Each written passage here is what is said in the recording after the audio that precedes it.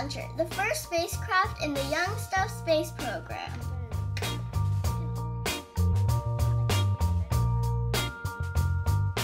Our goal was to build a spacecraft and launch it into space. Or at least as close to space as we could get. We bought several items from an awesome website called High Altitude Science, including a weather balloon, parachute, and flight computer. Our first version of our spacecraft was made out of PVC pipes, but that was too heavy. So we, so we redesigned it to use arrow shafts from some of my bent archery arrows, which were much lighter.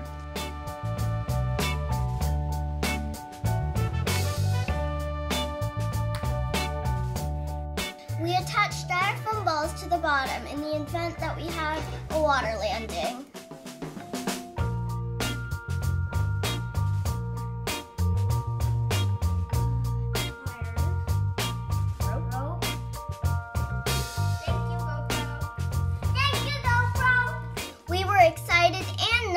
When we were getting ready for launch day. We took a long time trying to find a good launch site. We almost scrubbed our launch due to the weather. We're lucky we didn't because the weather turned out to be just fine.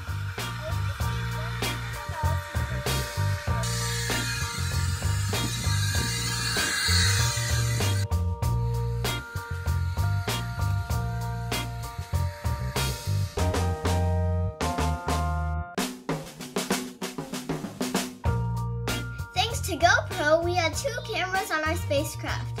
One pointed sideways and one pointed up. We were going to point one down, but, but at the last minute we changed our minds and pointed it up, hoping to film the balloon bursting. Unfortunately, our battery ran out before then.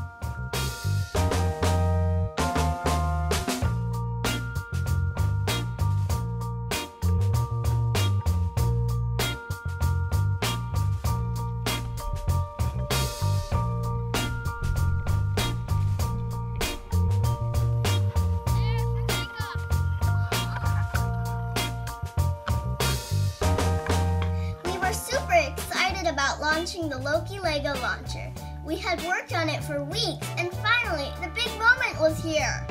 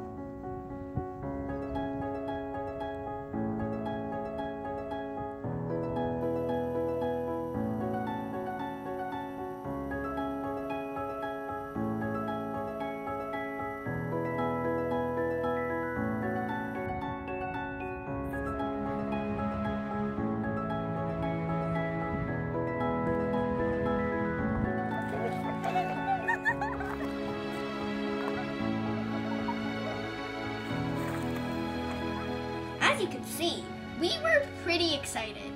I like dancing, okay?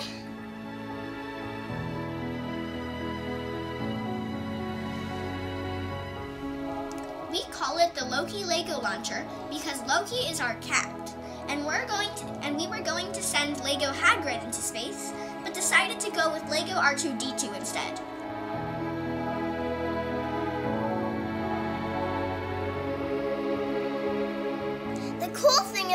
Adding a flight computer to our spacecraft is because of all the data we were able to collect on our mission. One thing we learned was that the balloon ascended at a very constant rate. Another thing we learned is that it got really cold as the balloon went higher.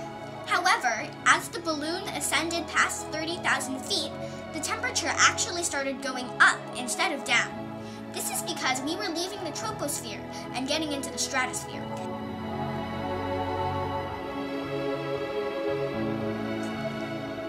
Really cool to see how the Earth looked from up there. It makes us think about how small we are.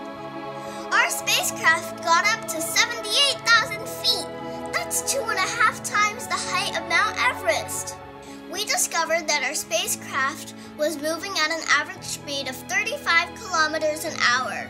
However, after the balloon burst, at one point it reached a peak speed of 110 kilometers an hour. That was during the tropopause, which is the area between the troposphere and the stratosphere. That's super fast.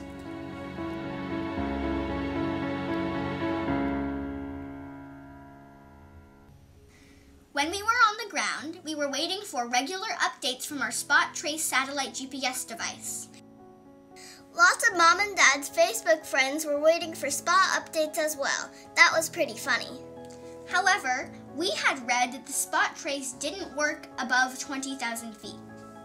As a result, we were really confused about what our spacecraft was doing. It turns out that the spot works way above 21,000 feet. It was working all the way up to 60,000 feet. So it turns out we were worrying for nothing. One of our goals was to try to see the blackness of space, and here is our Loki Lego launcher, right on the edge of space. We were not able to film the balloon bursting because our camera battery died, but we're glad we were able to film this. When our balloon burst, the spacecraft came down really fast, even with a parachute. We chose a launch site in central Washington to make sure that it didn't land on anyone, except maybe a cow. I'm sorry about climbing the fence. Thank goodness for GPS. We would never have found it without GPS. We even walked right by it the first time. We learned a lot of things from this project. Always be optimistic because we thought things were going wrong when in fact everything was working out just fine. And if we had a redundant tracking system, we might not have been so worried. And it's not good to speculate, you always want to rely on data and facts. And having a good project plan is a really good idea. And having an awesome teammate is also a really good idea.